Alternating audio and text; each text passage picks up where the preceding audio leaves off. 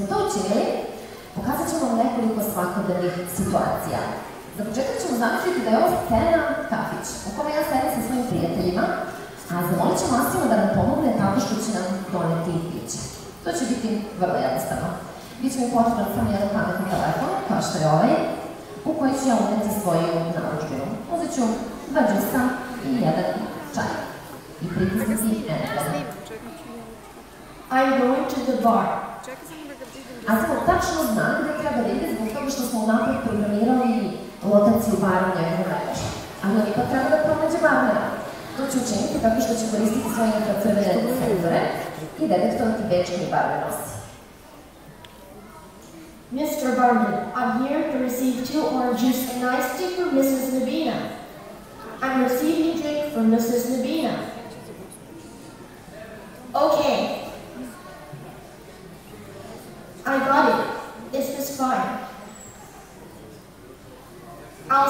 The delivery to Mrs. Nabina.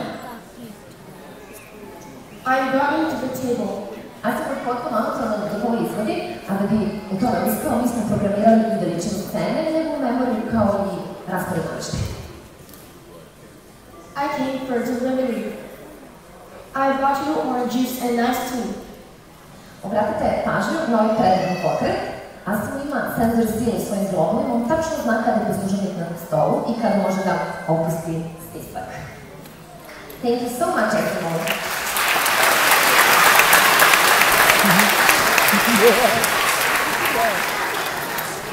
Za početak smo već uspili da vidimo kako se Asimo veoma lepo i prirodno kreće.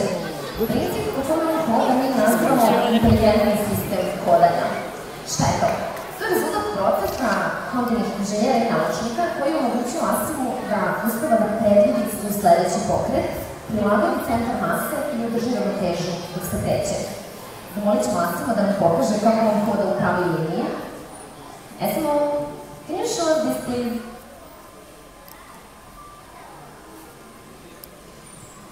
Obratite pažnju na to kako Asimo menja dužinu koraka, kao i brzinu kojom se kreće. Do sada već možete da pretpostavite da u Hondi nisu želeli da se zadrže na ovome, već su rešili da ovaj princip iskoriste do krajnjih granica. A mi možemo da budemo ponosni na to što su početne istraživanja u čitavom svetu na ovom polju načinjena upravo kod nas, u svetski priznatoj Beogradskoj školi robotike, na čelu sa akademikom, profesorom Milirom Vukuratovićem. Između ostalo, baš ova istraživanja su omogućila Asimu da danas umesto da trči. Trčanje je daleko komplikovanije od hodanja, između ostalog i zbog toga što su u jednom trenutku obe Asimove noge u vazduhu. Sada ćemo da zamolimo Asima da nam pokaže kako trči u pravoj liniji, kretat će se brzinom od njih 6 km na čas. Are you ready, Asimo? Asimo se zagrevao pre bavljanja sportom. Što je uvijek dobra ideja. Možemo nešto da naučimo od njega. Are you ready now? Ok, sad je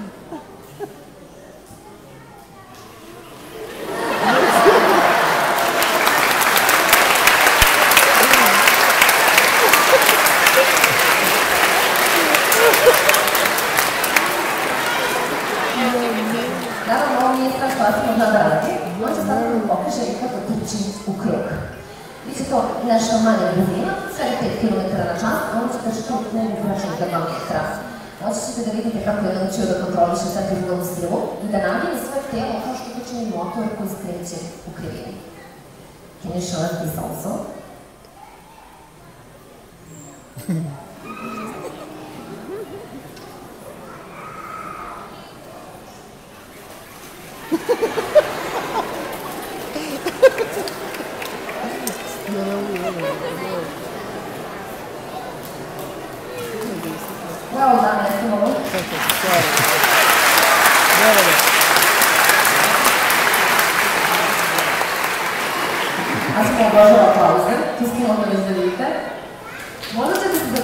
zašto je dobro imati robota koji zna da trči. Ali odgovor je veoma jednostavan kad malo razmišljamo o tome. Bezbednost. Time što smo omogućili Asinu da održava ravnotežu pri većim brzinama, mi smo ga praktično načinili mnogo kretniji, hitriji i on sada brže može da odreaguje ukoliko mu se neka prepreka nađe na putu. Kako on to uspeva da uradi? Asin ima tri vrste senzora koje su ugrađeni u čitavo njegovo telo. Prvi su vizualni. On ima dve kamere koje se nalaze u njegovoj glavi. Zatim, on ima senzor za tlo. Laserske, koji detektuju površinu kojom se kreće, i infracrvene, koji mogu da detektuju sve ove markere koje smo postavili po sceni, a koje pomažu Asinu da se pozicionira u od zadatka koji žele da nam pokaže. I treće vrste senzora su ultrazvučni. Oni mu omogućavaju da detektuje prepreke koje se nalaze čak na 3 metra ispred njega, a koje vizualni senzor i glavi ne mogu da obaze, kao što su recimo staklena vrata. Vidimo kako to izgleda u praksi. Ja ću zamoliti Asima da dođe do stepenica, ali ću stati direktno na njegov put. Da ćemo vidimo kako će on da odreaguje. Asimo, would you like to come to the stairs, please?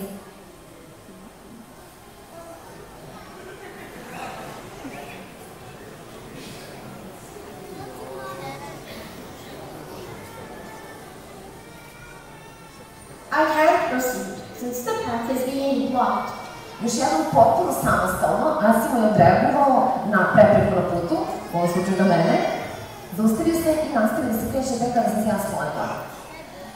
E sad, da bismo očekivali od Asima da jednog dana pomaže ljudima u svakodnevnim situacijama, on mora da zna i da radi neke veštine koje su za nas prilično jednostavne, ili da mislimo da jesu. Jedna od njih je i penjanje u stepenice i stilaženje iz njih. Mi ovakvim radnjama uopšte ne razmišljamo svesno. Ne razmišljamo o tome koliko je našem mozgu potrebno da proračuna ovaj kontrakulan pokret, koliko je mišića potrebno da aktiviramo da bismo ovo izdali. Mi ćemo pitati Asima da nam pokaže kako je on naučio da ovo radi. Asimo, can you climb the stairs for us, please? Okay, go ahead.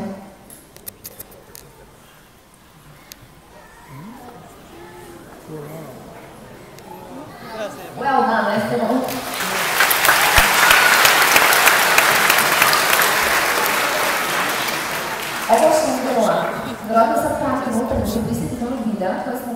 Početku i gde smo mogli da vidimo koliko je teško bilo napraviti robota koji može ovako dobro da održava ravnotežu dok pravi tako komplikovane pokrete. Asimo je sjajno to savladao. Naravno, on zna i da se spusti u stepenice. Mi ćemo da pitamo da li je raspoložen da nam. A vi želi recimo... Neće. Nemojte da brinete, ne plašite vistine, ne plašite vrtoglavice, a samo je potrebno neko vrijeme da izračuna svoju savršenu putanju нагоре. Output от чудото користите инфрацивен сензоре, детектува черен маркере, кой е станал за степеница, на кой сме ранее поминали и изличничи свой идеално титан. Никога не сме назад. Are you ready now? Okay, go ahead. Така ще дете спрема.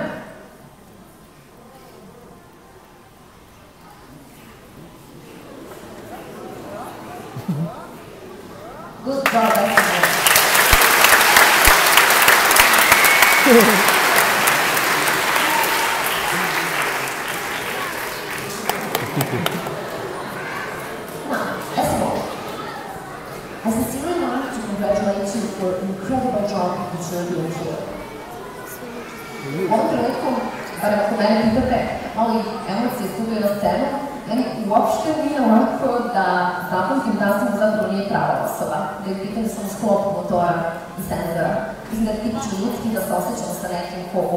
uvoji i ko podsjeća na nas. Sve to kažem zato što je zapravo sada trenutak za moj omiljeni deo ove prezentacije, a samo i ja ćemo sada da se rukujemo, a to je uvek fantastično iskustvo. Let's shake hands, Esimo. Let's shake hands.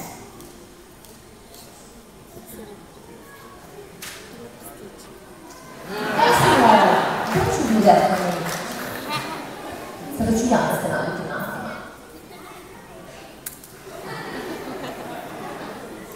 Oh, really? Evo, pogledajte kako Asimo ima M dobar smisao za humor, M savršeno nežne i delikatne pokrete ruke. Ovo je jako dobra prilika da vam pokažem kako je naučio da se potpuno samostalno prilagođava promenama u uslovima ravnoteže. Ja ću sada veoma polako da ga gurnem i da ga privučem sebi.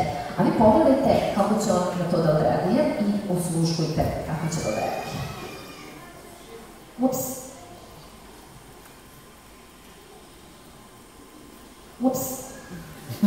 Potpuno samostalan, kao i što ste vidjeli nekoliko puta do sada, Asimo je potpuno sam odreagovao na ovu silu koju sam ja izvršila njega.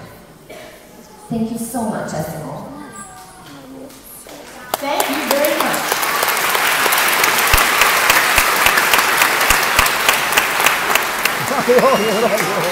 Asimo je bio jako vredan, zaslužuje da se malo opusti i planira. Znači možete da pretpostavite koji je Asimo omiljeni sport. Asimo se raduje čim vidi loptu. A ja ću dok ga zamolim da vam pokaže kako on igra futbal. Vidjet ćemo ga da šuta ovu loptu svojim desnim nogom. Ja sam i pomerila u stranu, otežala mu zadatak, a vi ste mogli da vidite kako se on sam pozicionirao tačno gdje je potrebno. Ovaj put zato je koristio laserske senzore kojima smo pričali, a koji su detektovali gdje se lopta nalazi. Ja ću da glumim golman ovaj put. I am ready whenever you are ready. Možda tražim ovo podrške. Ja znam, nisam sigurna.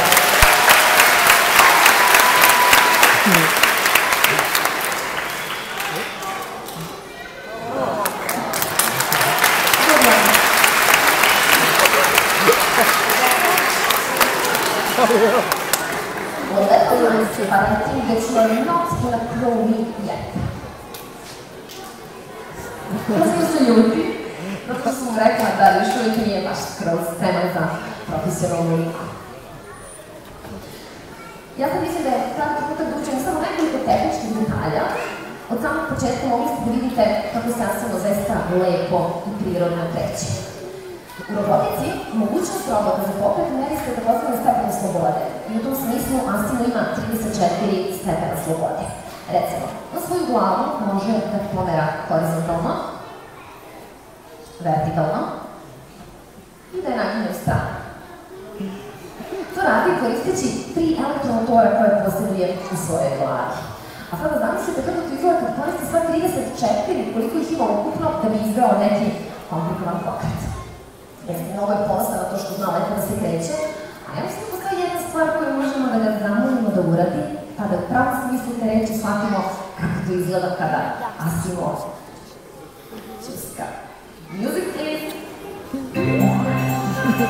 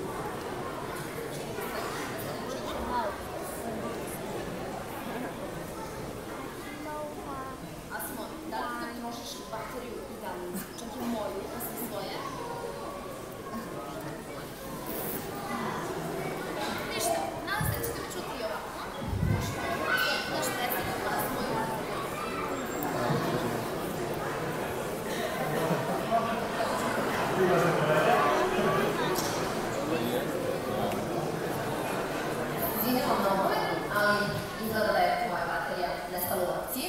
Asimo i ja smo se stvarno naradili danas. Ovo je šesta prezentacija, tako da nismo samo mi koji su umorni, nego i baterije na koje obe rade, očigledno. Ovo je bila stvarno lepa prezentacija i prilike vidite kako su nauka i inženjerstvo zapravo veoma, veoma zabavni. Ono što ste videli danas nije naučna fantastika, nije kompjuterski kinezki robot kako možete vidjeti u filmu ili u. Evo ja sam kažem, ne, ne, ne, a čista nauka. On je rezultat snova i strasti inženjera i naučnika širom sveta. Ja vidim mnogo mladih lica u